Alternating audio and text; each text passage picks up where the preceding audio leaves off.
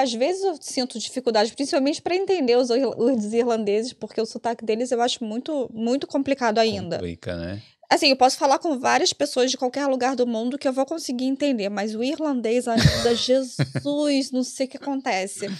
Mas é muito ruim você não conseguir se expressar. Até hoje. Eu acho que mesmo quem tá aqui há algum tempo, Sim. Você. Imagina, assim, você discutir com alguém em inglês ou você querer argumentar alguma coisa, não é igual como é na nossa língua, né? É. Eu acho.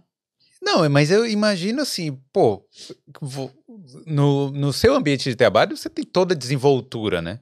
Sim. Você chega, você né, reclama, você faz isso, Sim. você argumenta, Sim. você demonstra como um produto funciona, como não Sim. funciona. Aí você chegar e você não ser capaz de, É horrível. né? É horrível. É. É horrível. É, assim,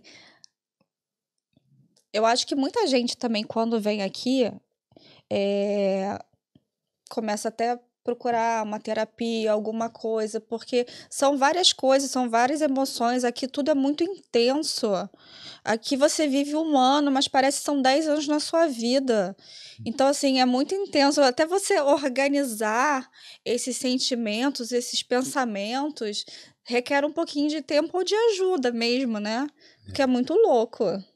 Mas você não acha que as, as por exemplo, você vê com a expectativa em dia, porque às vezes eh, você fala assim, pô, três meses aqui eu ainda não consigo me comunicar. Aí às vezes a própria, as nossas expectativas é o que deixa a gente para baixo, né? é. Porque às vezes a gente tá sabendo, você, você tá no período certo, né? Você fala, pô, com três meses eu sou capaz de falar isso, então eu tô evoluindo bem. Mas às vezes a gente pe- não pensa assim, né? Pensa, pô, eu quero estar logo falando fluente aqui e tal. Não, Né? não dá. Assim, é... Quanto tempo você demorou para você falar português? Falar todas as palavras, eu conhecia todas Ah, as eu- palavras. seis meses eu já tava. Ah, não. Você começou a falar com seis meses de idade.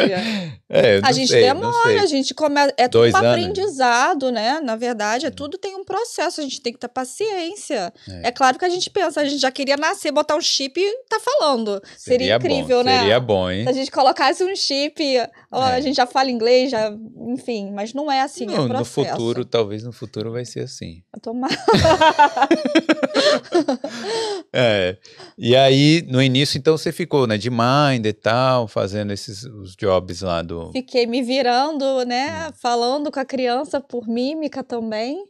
Ah. Fiquei, é, é, desde o início, eu fiquei, eu consegui um trabalho de minder de uma amiga minha que saiu e me colocou lá no lugar. Eu fiquei dois anos trabalhando lá. Dois anos. É, fiquei dois anos até a pandemia, né? Aí depois a gente ficou um tempo parado, voltei pra lá e aí depois consegui esse emprego que eu tô até hoje. Mas eu fiquei dois anos como minder. Valeu demais por ter assistido esse corte. Mas se você quer aprender ou melhorar o seu inglês para morar fora, clique aqui no link da descrição.